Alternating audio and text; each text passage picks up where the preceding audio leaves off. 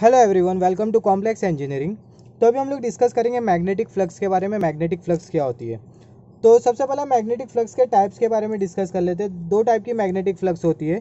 Constant magnetic flux होती है और दूसरी होती है वेरिएबल मैग्नेटिक फ्लक्स जिसको हम लोग बोल सकते हैं यूनिफॉर्म मैग्नेटिक फ्लक्स और नॉन यूनिफॉर्म मैग्नेटिक फ्लक्स तो अगर मैग्नेटिक फ्लक्स यूनिफॉर्म है तो उसको हम लोग बोल सकते हैं कांस्टेंट मैग्नेटिक फ्लक्स सिमिलरली अगर मैग्नेटिक फ्लक्स नॉन यूनिफॉर्म है तो उसको हम लोग बोल सकते हैं वेरिएबल मैग्नेटिक फ्लक्स तो मैग्नेटिक फ्लक्स का स्टेटमेंट क्या है? सबसे पहले हम लोग वो देख लेते हैं। It is the number of magnetic field of lines passing through the surface if the magnetic field of lines passing through the surface is more then the magnetic flux will be more and if the magnetic field of lines passing through the surface is less then magnetic flux is less. Magnetic flux का मतलब क्या होता है कि magnetic field of lines कितनी magnetic field of lines एक surface पर, surface में से पास हो रही है। अगर मैग्नेटिक फ़ील्ड ऑफ़ लाइन्स कोई अगर सरफेस को पेनिट्रेट करते हुए अगर पास होती है तो सरफेस पे बनती है मैग्नेटिक फ्लक्स। अगर वो मैग्नेटिक फ़ील्ड ऑफ़ लाइन्स अगर ज़्यादा से ज़्यादा मैग्नेटिक फ़ील्ड ऑफ़ लाइन्स कोई सरफेस को पेनिट्रेट करते हुए बाहर निकल रही है तो सरफेस के साथ एसोसिएटेड या फिर वो जो सरफेस पे जो मैग्नेटिक फ्लक्स बनेगी, उसका जो मैग्नीट्यूड होगा वो ज़्यादा से ज़्यादा होगा। सिमिलरली अगर कोई सरफेस को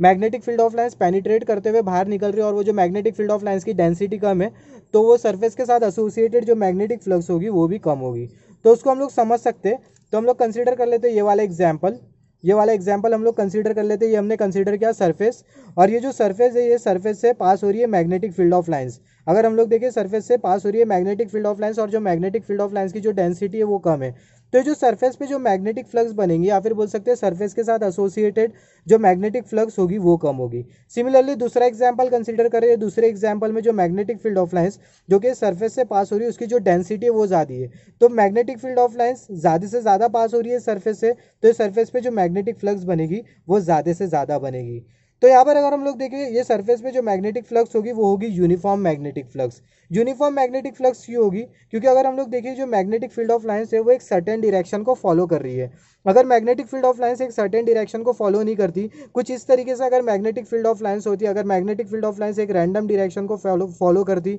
या फिर हम लोग बोल सकते हैं मैग्नेटिक फ़ील्ड ऑफ़ लाइन्स अगर रैंडम होती,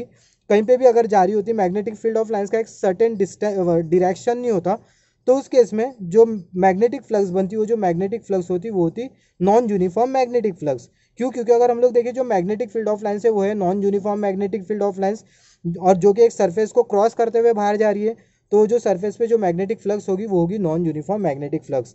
similarly ये वाला एग्ज़ाम्पल कंसिडर करें, यहाँ पर जो मैग्नेटिक फ़ील्ड ऑफ़ लाइन्स एक सर्टेन डायरेक्शन को फॉलो कर रही है। यहाँ पर magnetic field of lines constant है और ये जो मैग्नेटिक फ़ील्ड ऑफ़ लाइन्स है सर्फेस को पेनिट्रेट करते हुए बाहर निकल रही है। तो ये सर्फेस के साथ एसोसिएटेड जो मैग्नेटिक फ्लक्स होगी, वो होगी कॉन्स्टेंट मैग्नेटिक फ्लक्स या फिर हम लोग बोल सकते हैं यूनिफॉर्म मैग्नेटिक फ्लक्स क्यों? क्योंकि अगर हम लोग देखें, ये जो सर्फेस है, इसको पेनिट्रेट करते हुए uniform magnetic field of lines pass हो रही है। या फिर सिंपल वर्ड्स में बोलूँ तो जो मैग्नेटिक फ़ील्ड ऑफ़ लाइन्स जो पास हो रही है, वो एक सर्टेन डायरेक्शन को फॉलो कर रही है, जिसको हम लोग बोल सकते हैं uniform magnetic field of lines जिसकी वजह से सरफेस पे जो फ्लक्स बनेगी, वो होगी यूनिफॉर्म मैग्नेटिक फ्लक्स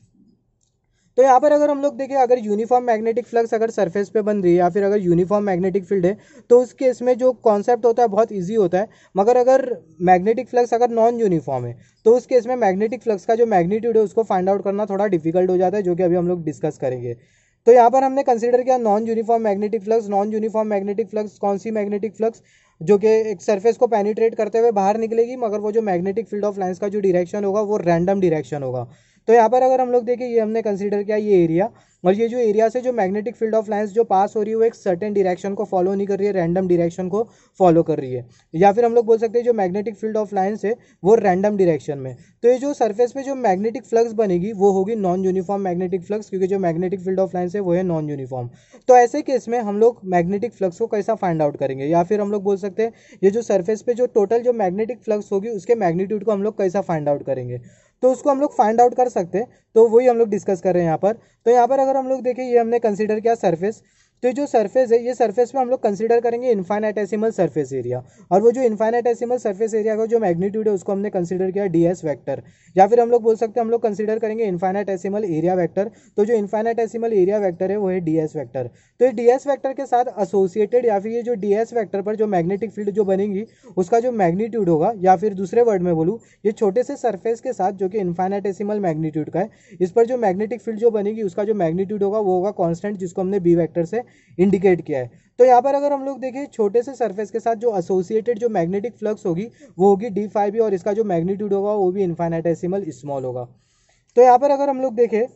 ये जो छोटे से सरफेस के साथ एसोसिएटेड जो मैग्नेटिक फ्लक्स है, उसका जो मैग्नीट्यूड है, वो है डी फाइव बी और ये बराबर में होगी B vector dot D S vector यहाँ पर देखिए जो जो डी एस वैक्टर है, वो ये इन्फाइनाटेसिमल सरफेस एरिया और उसके साथ जो मैग्नेटिक फ़ील्ड है, वो ये बी वैक्टर इंडिकेट कर रहा है। तो यहाँ पर अगर हम लोग देखेंगे इन्फाइनाइटेसिमल सरफेस एरिया पर, जो मैग्नेटिक फ़ील्ड का जो मैग्नीट्यूड है वो है डी फाइव बी अगर हम लोग ये डी फाइव बी को अगर हम लोग इंटीग्रेट कर दे, ये छोटे से मैग्नेटिक फ्लक्स को अगर हम लोग इंटीग्रेट कर दे, ये पूरे सरफेस पे तो हमें मिल जाएगा टोटल मैग्नेटिक फ्लक्स तो जो टोटल मैग्नेटिक फ्लक्स होगा, वो होगा फाइव बी और वो इंटीग्रेशन होगा, ये जो इन्फाइनाटेसिमल मैग्नीट्यूड का जो मैग्नेटिक फ्लक्स है उसका डी फाइव बी तो यहाँ पर अगर हम लोग डी फाइव बी की अगर वैल्यू पुट करते हैं तो हमें मिल जाएगा integration of B vector dot D S vector तो यहाँ पर अगर हम लोग देखिए ये इक्वेशन हमें क्या बताता है? ये इक्वेशन हमें बताता है, अगर ये सर्फेस पे अगर हमें total magnetic flux find out करना हो तो हम लोग कंसिडर करेंगे इन्फाइनाटेसिमल सर्फेस और उसके साथ एसोसिएटेड मैग्नेटिक फ़ील्ड और दोनों के मैग्नीट्यूड को, या फिर हम लोग बोल सकते हैं दोनों का जो डॉट प्रोडक्ट होगा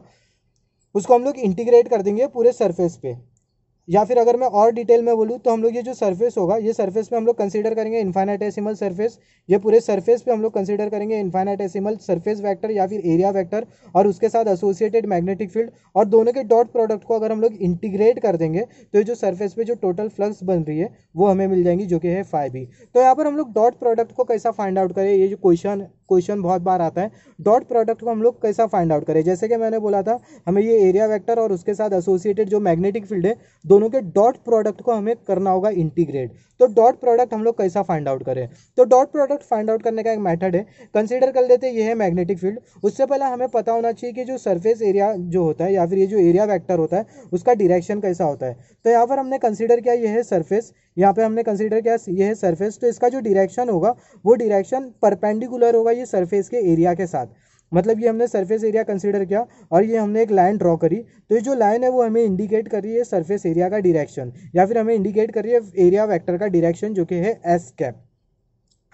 तो जो एरिया वेक्टर का जो डिरेक्शन होता है, वो परपेंडिकुलर होता है एरिया के साथ या फिर बोल सकते हैं सरफेस एरिया के साथ। तो यहाँ पर हमने कंसिडर किया, ये है सरफेस एरिया ये हमने कंसिडर किया सरफेस एरिया और ये है मैग्नेटिक फ़ील्ड ऑफ़ लाइंस तो ये जो सरफेस एरिया है, ये मैग्नेटिक फ़ील्ड ऑफ़ लाइंस के साथ मान लेते हैं 120 डिग्री का एंगल बना रहा है। तो इस केस में ये जो सरफेस एरिया का जो एरिया वेक्टर होगा, वो कुछ इस तरीके का होगा जो कि ब्राउन लाइन इंडिकेट कर रही है एस वैक्टर तो ये जो ब्राउन लाइन है, हमें इंडिकेट कर रही है एस वैक्टर जो कि है एरिया वैक्टर और यहाँ पर अगर हम लोग मैग्नेटिक फ़ील्ड देखें जो मैग्नेटिक फ़ील्ड का जो डिरेक्शन है कुछ इस तरीके का है। कुछ इस तरीके का मैग्नेटिक फ़ील्ड ऑफ़ लाइन्स का डिरेक्शन है। तो दोनों के बीच का जो एंगल है वो है टीटा दोनों के बीच का जो एंगल है वो हम लोग मान लेते हैं टीटा तो डॉट प्रोडक्ट को फाइंड आउट करने के लिए यहाँ पर अगर हम लोग देखें यहाँ पर हम लोग किसका डॉट प्रोडक्ट फाइंड आउट करेंगे? अगर ये एग्ज़ाम्पल कंसिडर करें तो, तो ये वाली मैग्नेटिक फ़ील्ड और ये जो सरफेस वैक्टर है इसका डॉट प्रोडक्ट फाइंड आउट करेंगे। तो magnetic flux is equal to ये वाली मैग्नेटिक फ़ील्ड और ये जो सरफेस वैक्टर है उसको हमने कंसिडर किया। तो डॉट प्रोडक्ट जब हम लोग फाइंड आउट करेंगे तो दोनों का मैग्नीट्यूड कंसीडर करेंगे। ये वाली मैग्नेटिक फ़ील्ड और ये जो सरफेस वेक्टर है, इसका मैग्नीट्यूड कंसीडर करेंगे और दोनों के बीच का कोसाइन ऑफ़ एंगल जो कि हमें ये वाला इक्वेशन इंडिकेट कर रहा है। ये हमने कंसीडर किया मैग्नेटिक फ़ील्ड का मैग्नीट्यूड और यहाँ पर हमने कंसीडर किया एरिया वैक्टर का मैग्नीट्यूड और दोनों के बीच का जो एंगल है, वो है कोसाइन ऑफ़ टीटा अगर इसको अगर हम लोग फाइंड आउट कर लेते हैं तो हम लोग फाइंड आउट कर लेंगे दोनों के बीच का जो डॉट प्रोडक्ट है वो। और अगर हम लोग ये दोनों के डॉट प्रोडक्ट को अगर हम लोग इंटीग्रेट कर देते हैं पूरे सरफेस में सिमिलरली यहाँ पर भी हम लोग क्या करेंगे, ये जो मैग्नेटिक फ़ील्ड का जो मैग्नीट्यूड है, वो कंसिडर करेंगे और ये जो सरफेस एरिया है, उसके मैग्नीट्यूड को कंसिडर करेंगे और दोनों के बीच का एंगल है, उसको कंसिडर करेंगे तो हमें मिल जाएगा डॉट प्रोडक्ट और वो जो डॉट प्रोडक्ट होगा, उसको हम लोग इंटीग्रेट कर देंगे, जिसके वजह से ये जो सरफेस पे जो फ्लक्स बन रही है टोटल मैग्नेटिक फ्लक्स वो हमें मिल जाएँगी। तो हमने डिस्कस किया मैग्नेटिक फ्लक्स के बारे में। मैग्नेटिक फ्लक्स का मतलब क्या होता है कि number of magnetic field of lines passing from the surface अगर फ़ील्ड ऑफ़ लाइंस ज़्यादा पास हो रही है, अगर मैग्नेटिक फ़ील्ड ऑफ़ लाइंस की डेंसिटी ज़्यादा है, जो कि एक सरफेस एरिया को पेनिट्रेट करते हुए बाहर निकल रही है तो जो एरिया पर जो मैग्नेटिक फ्लक्स बनेगी, वो ज़्यादा होगी। सिमिलरली अगर मैग्नेटिक फ़ील्ड ऑफ़ लाइंस अगर मैग्नेटिक फ़ील्ड ऑफ़ लाइंस की डेंसिटी कम है और वो एरिया को पेनिट्रेट करते हुए बाहर निकल रही है तो सरफेस एरिया के साथ एसोसिएटेड मैग्नेटिक फ्लक्स का जो मैग्नीट्यूड होगा, वो कम होगा। हमने डिस्कस किया यूनिफॉर्म मैग्नेटिक फ्लक्स क्या होती है नॉन यूनिफॉर्म मैग्नेटिक फ्लक्स क्या होती है।